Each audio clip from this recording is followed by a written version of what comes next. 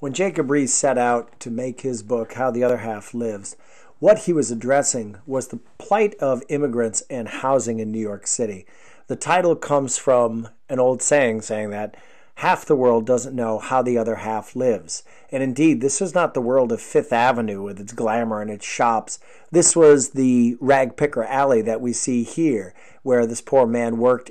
His job was essentially finding rags and collecting rags around the city. Where is he going to live? And the following slides are going to show us what it was like in New York City at the time of the immigrants, when the time when the immigrants moved in and were looking for anywhere to live.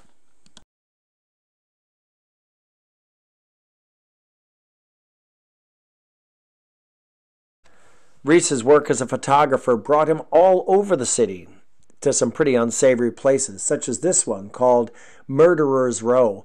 Every man in this picture is wanted by the police, and in fact, a lot of these places the police wouldn't even go into.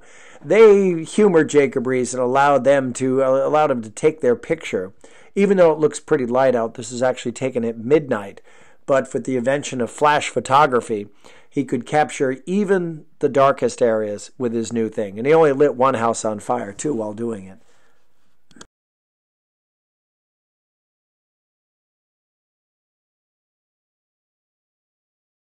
This was the New York City of the day. This was a walking city where, because transportation was limited to horses and carriages, as you can tell from the road apples in the street there, and the lack of automobiles, everywhere in New York needed to be within walking distance. And this meant that immigrants needed to be close to their jobs. And what we see are we have you have stores on the first level and then you have flats or apartments up above. And this is the following pages are going to detail what it was like living in New York City at the time. You can already see that this is, while kind of familiar, it looks very different without cars. You can see in the upper left hand corner the Hebrew lettering on the signs. This was part of the neighborhood where the, a lot of the Jewish immigrants lived, and they would advertise in their signs to each other.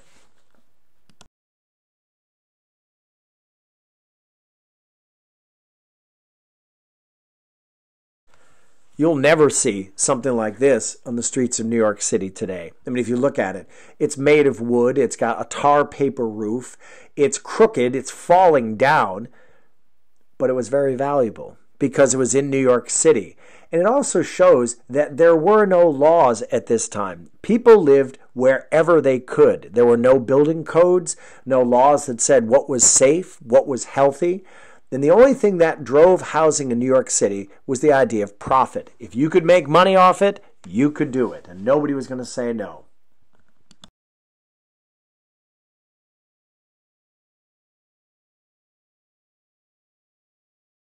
This rear house is a prime example of people taking advantage of that.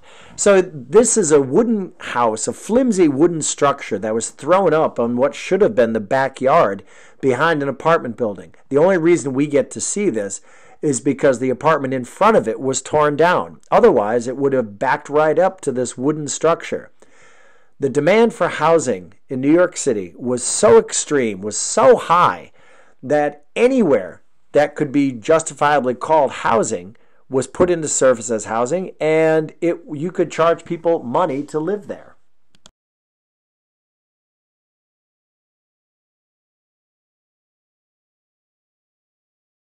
This is a lot different from New York City. There were no garbage men at the times, as you can see by the by the absolute piles of filth and animal bones and wood and just plain old garbage on the streets. New York City was a pretty, pretty unhealthy place at the time. You can see from this that the streets were muddy. In some places they were paved, other places not. They had cobblestones. But you see a lot of standing water, which means mosquitoes, which means bugs, which means disease. New York City at this time had epidemics of cholera, yellow fever, and other things go ripping through the city. And to make it worse, pack in 8 million people living in close quarters.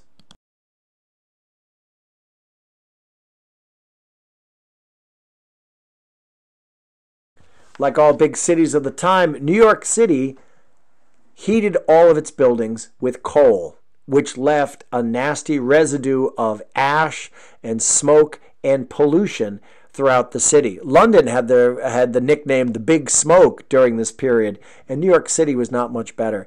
With every household burning coal to heat it, the clouds of smoke and the pollution were unreal.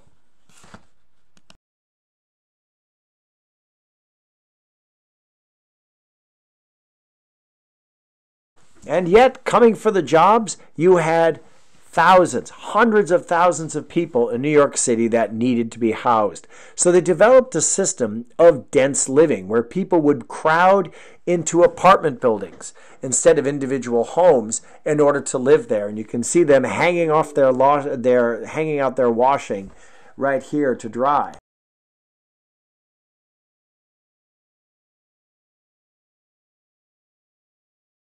In this slide, you can see that there are more than just places to live. This is where people did a lot of living from doing the cooking and the women doing the laundry in the backyard and drying out the lawn and the kids playing at the same time.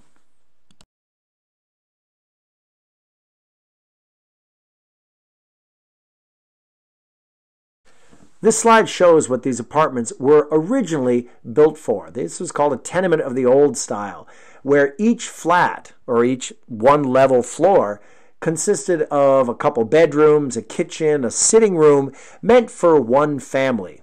However, if you can't afford the rent, what you do is you get a roommate, or three, or four, or five, or as many as you can to make it that much more affordable. They would subdivide the rooms and bring in more families, as we're going to see in the next picture.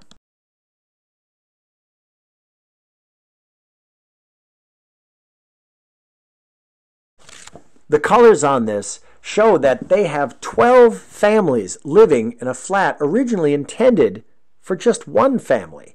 Each of those green rooms is lucky enough to have a window and light coming in and fresh air. All the blue rooms do not. There was no electricity in 1863. There was only candlelight and no fresh air coming into these kind of landlocked rooms with no windows in them whatsoever. The red ones are um, hallways and common areas like that, so they didn't really count.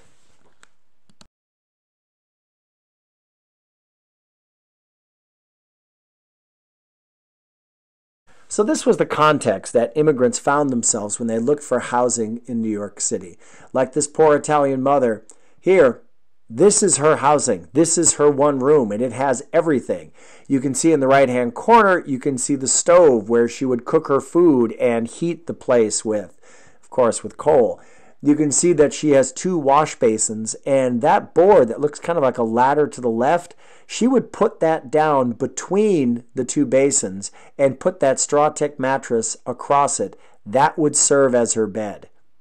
And she has a baby and Jacob Riis was practically standing outside of the apartment to take this picture.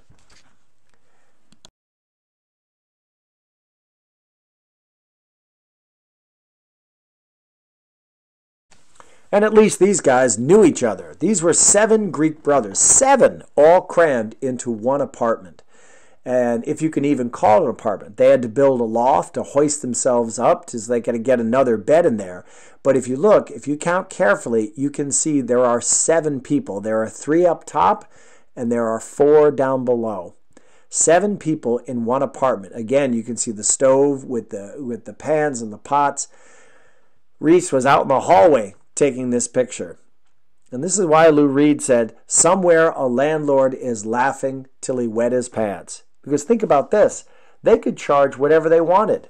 Now, at least these guys knew each other. There was a system called the hotbed system or the repeater system, which meant that when you went off to work, you sold, or you, sorry, you rented your spot in bed to somebody else.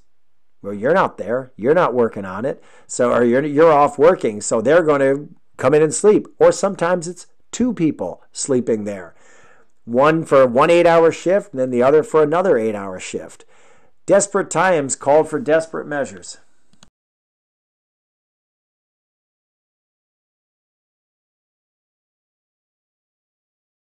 This poor guy was actually paying someone to sleep in a basement.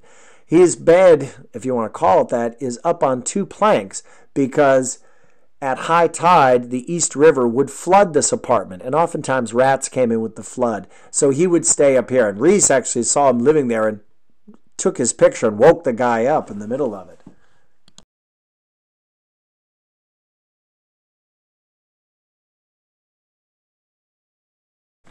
In this picture, you see a father and a son working at a table. What's interesting is that the dynamic is reversed. The father is the illiterate one. He is the one who is an illiterate peasant who can't read nor write and certainly can't speak English. On the right is his son, who, if he's lucky enough, could go to school to learn English and to learn how to read, to learn how to write. And so the family dynamic there was worse, or was reversed. Most children had to work at a young age because their parents needed the wages to survive.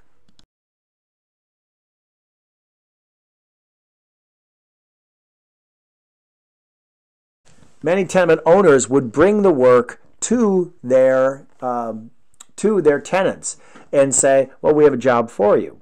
You can stay here, and I'll just deduct this from your wages." In this picture, the Bohemian family, everybody's working. The mother and father are rolling tobacco into cigars. You can see under the guy's forearm the number of cigars. Now he get paid by the piece, so he get paid for however many he managed to create. The boy on the right is the one stripping tobacco from the, the leaves from the stems, so it could be a good, uh, a good piece to roll from. When you work by the piece, you don't get paid very much, and every time you take a break, you are losing an opportunity to make more money. So, working in these conditions, this is the birth of what we call the sweatshop labor, when you're working here in these apartments and working hard.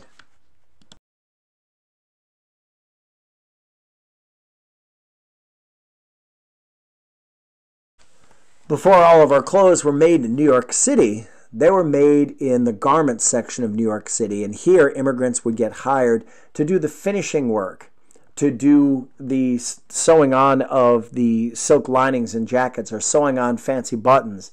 The jobs that the machines at the time couldn't do. And these were small private companies who are, who were operating as best they can, not making a lot of money and but this is where their skills would take them. And oftentimes they would work right in the tenement itself.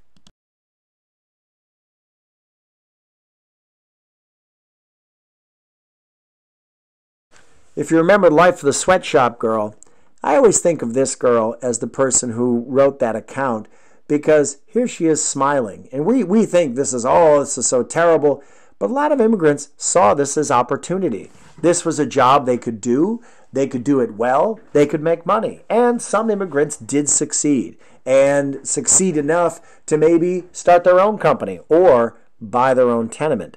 Many of the tenement owners were former immigrants themselves. So this does sort of show that, yeah, there was some opportunity in this system.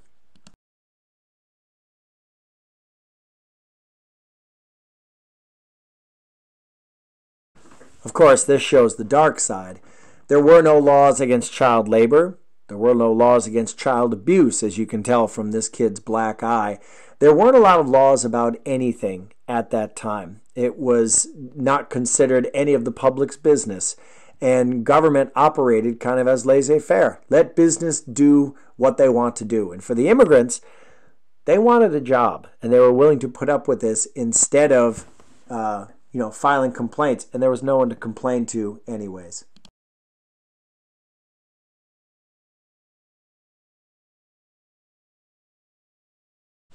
So this looks like a daycare, but in reality, this woman is having all of the children she's supposed to be minding put together dried flower arrangements. In, in lieu of paying for daycare, you would send your children to her because they are much too young to work. But in most immigrants family in most immigrant families, everybody worked. They needed the wages. The lucky ones were the ones who went to school.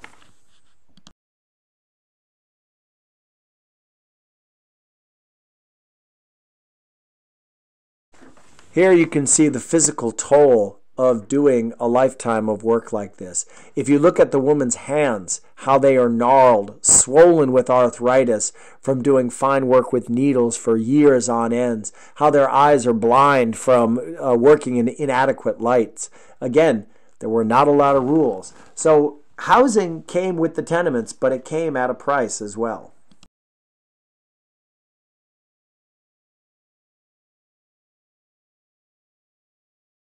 Now we're going to get into the other ways that people found housing, some of the less um, less usual ways of finding it. When it got cold, they would oftentimes open up shelters like this one, where they had men sleeping in hammocks on one side, and then on the other side of the building, they had the women sleep, sleeping in hammocks as well.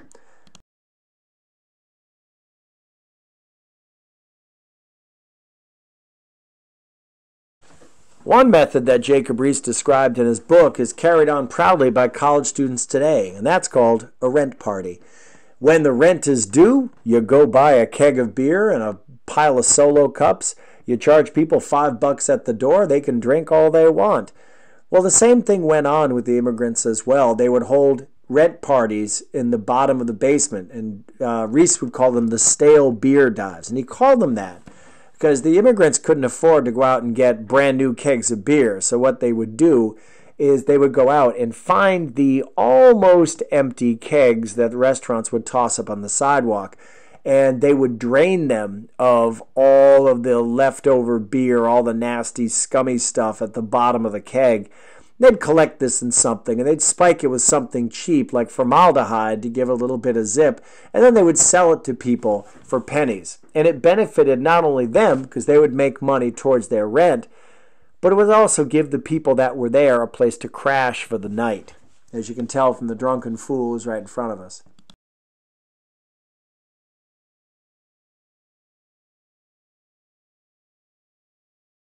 Here is one of these stale beer dives, and you can see that uh, this is sort of a mixed race place. You have two Germans, you have an African American, and uh, I guess when you're that poor, uh, not too many people get fussed about discrimination, huh?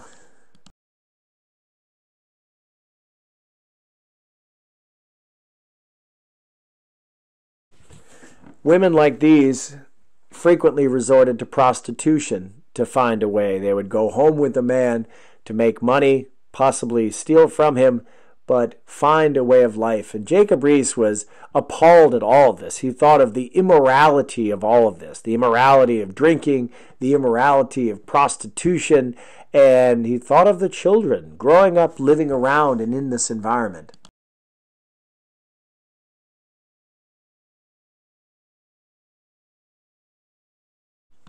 And indeed, here's this man passed out. I don't know why he took his shoe off, but he did.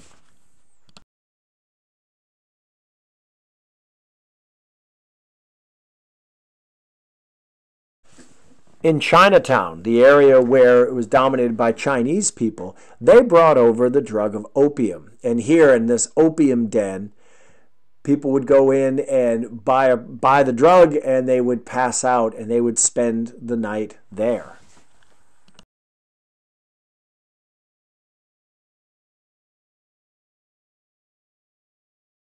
Riis was especially concerned for the children.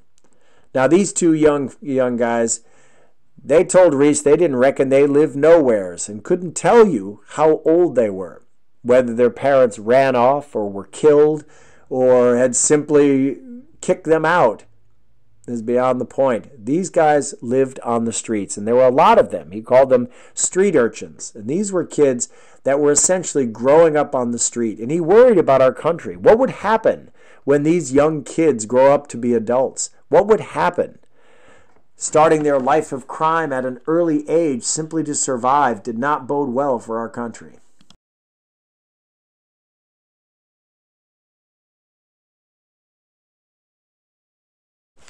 They were happy to demonstrate for Jacob Riis how they did the trick. In other words, they would wait until they saw a drunk staggering down the street. They'd trip him up, they'd knock him over, and they'd steal his wallet or run his pockets and take whatever they could. This is how young kids survived on the streets. They did whatever they could, living by their wits and uh, frequently coming to a bad end.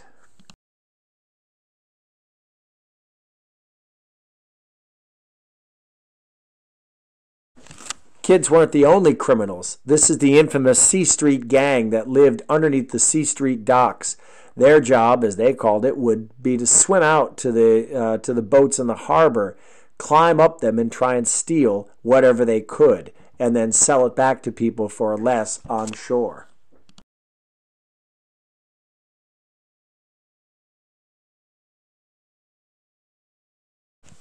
When it became very cold, oftentimes the police station would throw open their doors and people would have to come into the jails when it was terribly cold. Either that or freeze on the streets. And uh, there, there's something demeaning about coming in with hardened criminals, but either that or freeze on the streets.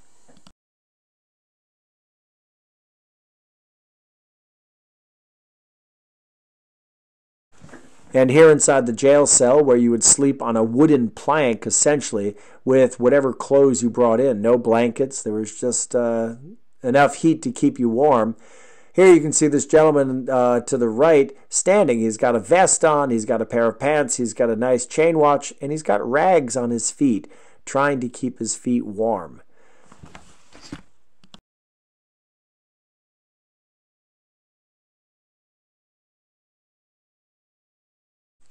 Riis got a kick out of this guy. This guy was proud of building his house on somebody else's roof. He had scavenged enough materials, leftover stuff, and he made his own little house. And he was going to live there, and he was quite proud of it, as you can tell from this picture.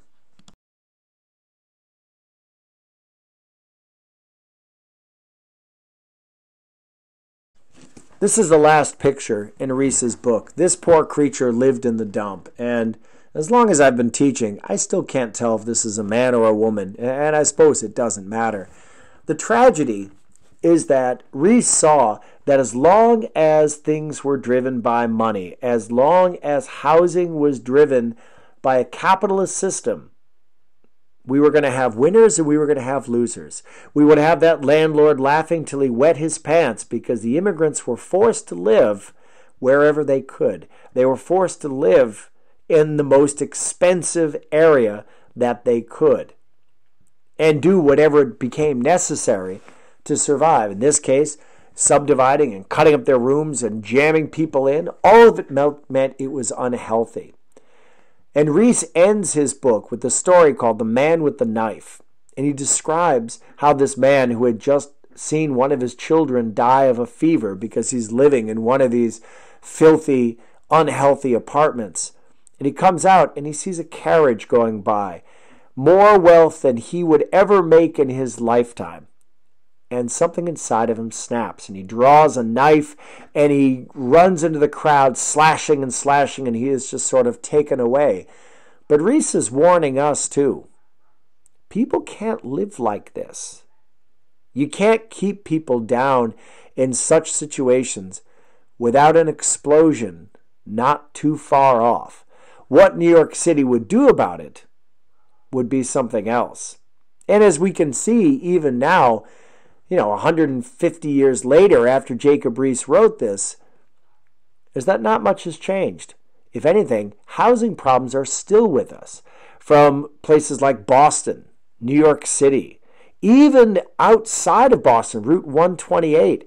Housing prices are obscene. Now, thankfully, living in Western Mass, we don't see that. But again, this country has never quite figured out its housing problem. How do we build housing in a fair and equitable way, yet still use the capitalist system that we have? Well, we're going to see what's going to happen after immigration.